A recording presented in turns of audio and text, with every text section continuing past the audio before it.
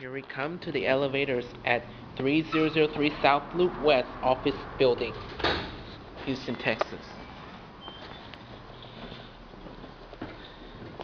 These are Kone elevators. Five, four.